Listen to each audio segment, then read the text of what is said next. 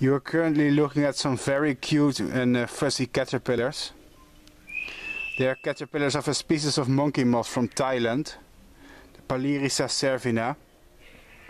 And I imported them uh, as eggs to the Netherlands to be able to breed them in captivity and study them. I think it's a fascinating species with very nice and cute larvae. They've been very easy to raise in captivity. They feed on oak, on cherry, on uh, and actually many kinds of plants from that family, even rose, anything to related to the Rosaceae. And I've been enjoying raising them a lot. They're very easy. The main problem with rearing them is you need a lot of patience because they grow extremely slow and I mean extremely. I've had them for five months now and 5 months is actually a long development time for a caterpillar. Usually 1 or 2 months is enough for even the big species. But these just take their time. And I have even more of them than I'm showing on this video.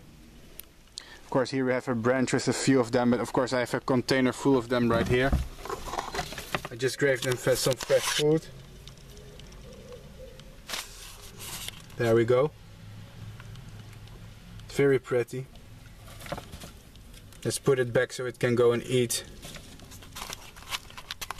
And over here we have one shedding its own skin.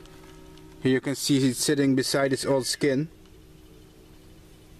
I should help. Uh, I should help get it off. It's, it looks like one piece of the skin is stuck to its neck. This yellow skin is actually old skin. It looks like the new larva. It's looking very silvery rather silvery. But I think if we wait, the hairs will turn yellow and it will color up.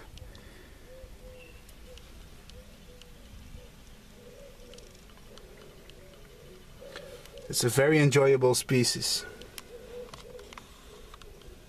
They do have sharp hairs that can irritate your skin, but that's not a massive problem if you don't handle them too often. Generally they're still quite harmless. Keep watching people, because they'll get even bigger and cuter. Thanks for watching.